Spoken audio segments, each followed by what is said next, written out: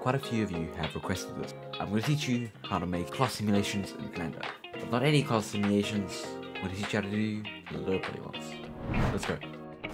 Okay, so here we are over on the PC. So first off, I have this simple character that I made before. Uh, it's just a basic base mesh, whatever, doesn't matter. Um, but yeah, so let me just sort out the colors here. Okay, so okay, cool. So here we are over on the PC. So here's just this basic character base mesh that I have, and let's just start working on having like uh, a long coat or dress or something. So, like, go through the usual uh, process for making clothing. Let's just make like a, a, tube dress, whatever it's called. So we're gonna have it like this. So get to like the pelvis over here, uh, and then just see like these vertices and like that. Okay. We can Shifty P, select this, these vertices, and then extrude. I'll put up my screencast key so you can see what I'm doing. And then drag these vertices up here and then put these over here like there. Okay. We can just add a uh, solidify modifier.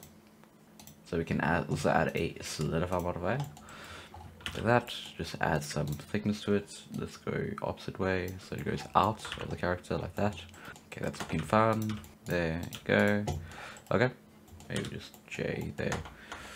Uh, if you want to see the vertices of it you can just click on that button and it'll show you all. And yeah. So now we can start extruding the dress down so let's just select all of these extrude down and there. Let's adjust it on the side. Maybe what we can do is just uh, gx with here and turn on proportional editing just so that we don't have the legs going as far out like that. Turn on proportional editing. And extrude okay there. So we have to add some like actual thing. There. Get this to look nice. And then we can go add in one more edge. Okay. That looks fun okay. So this looks like a pretty decent uh, dress whatever. And first off before we do the simulation we're going to have to select the parts that we don't want to be simulated and select all those add a new group nameless what uh, uh, pin okay? And then we're going to go to physics uh, tab and then go to cloth and then we're going to go to shape and pin group go down to pin. So now if we play this let's take this above the solidifier let's mess around with the collision thing um, but yeah, so the simplest way to get this to actually work, so it's actually just hard this solidify for now for simplicity. Uh, add a subdivision surface, uh, take this above the cloth, okay? So we're going to change this to simple, and then we're going to go add a decimate, and then unsubdivide, and take this to 4.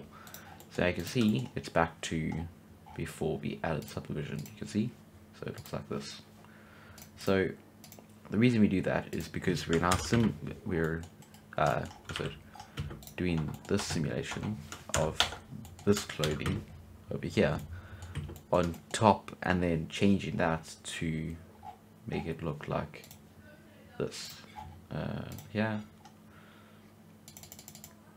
We're making it look like this. So okay so I figured out how to get uh, more accurate collisions in with the simulation so the simplest way, to, well, the way I do it, I just figured out, is if you come down to shape, wait, uh, collisions, okay? So you can track up the quality, so I have them four right now, and object collisions, and I change the distance. By default, this was, uh, I believe, 0 0.015. So I changed this down to 0, and, well, automatically 0, 0, 1, um, and then change quality to 4 uh, and then you can see now it's like directly on the skin. And it's clipping through even so if you drag the solidify up other way the right way um, you can see if we change to zero clipping through so let's maybe change it to let's make it like five. Let's see if that works. Okay that's fun and then we go add a solidifier uh, drag it up slightly And then there you go. We have some collisions. So if we go, uh, okay, so we haven't rigged, we haven't rigged it, the, the cloth, so it's not that work. Yeah, it won't. So you also have to add a, a skin or a weight paint to, with, so you have an armature, you have to go apply weight paint to the mesh, and then, so you can, because the armature goes first, so then it'll have, like, the, the, the thing, if you move the leg, it'll have it look like this, and then it'll animate from that. So add a weight paint to your cloth, and yeah, there you go.